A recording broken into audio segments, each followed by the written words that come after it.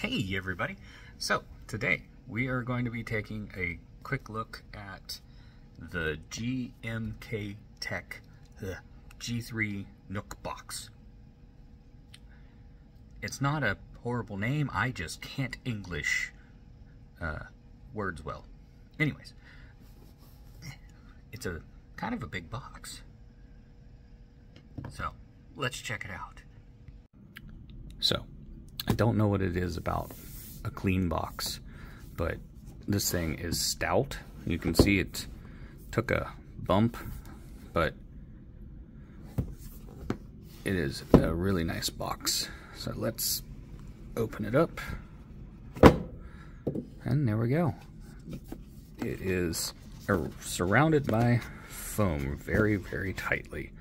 Like quite nice foam. So let's pull that out. And then we have a manual. And I haven't opened that yet, so let's check that out here in a minute.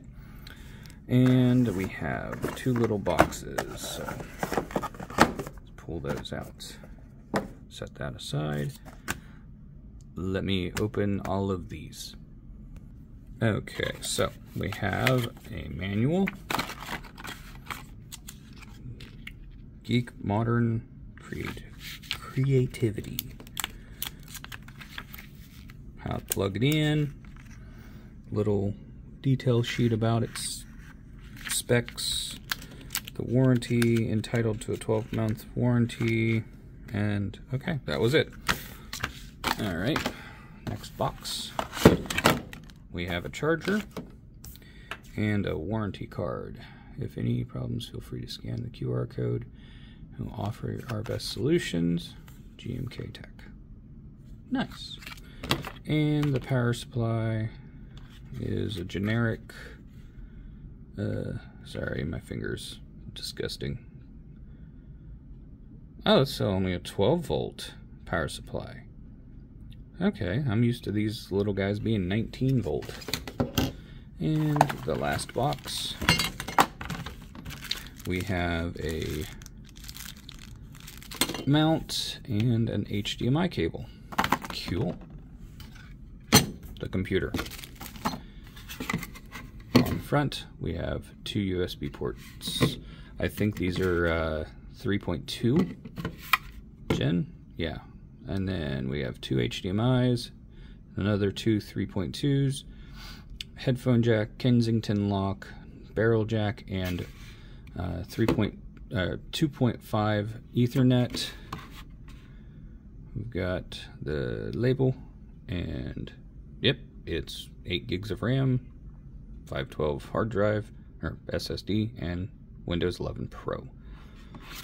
Alright, so the one thing I did really kind of like about this little guy is to upgrade it, there's no screws on the bottom. It's quite literally just rip off the top.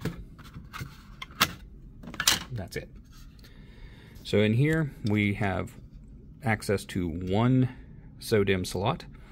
Sadly, I wish it was two, but I don't know if that's a limitation of the CPU because this has an N100 inside of it.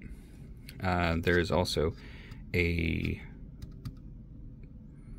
uh, M.2, I think that's B key, and then this is the NVMe M.2 it's uh, M key, so M and B, and then underneath that is the M.2 A and E key in uh, slot.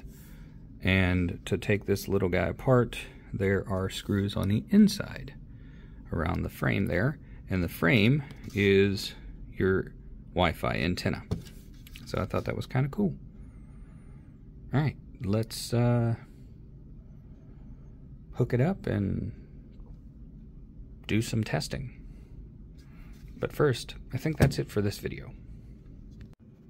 Who am I kidding? I have to take it apart. So, taking it apart was fairly easy. Just take out those four screws in the frame, and then the frame's got little clips that you pop out. And, yeah, that's it. That is a kind of a large heatsink and a quite tiny fan. Got a single heat pipe, it looks like. Cool. Um, can you see? Yeah, so you can see the heat pipe is touching over half of the plate, so that should be good thermal transfer. Okay, now it's time to put it back together and turn it on. But that's for the next video. Thanks for watching, and uh, yeah, thank you to GMKtec for sponsoring this uh, computer to me. Thanks. Bye. I forgot to show you the Wi-Fi card, so there it is.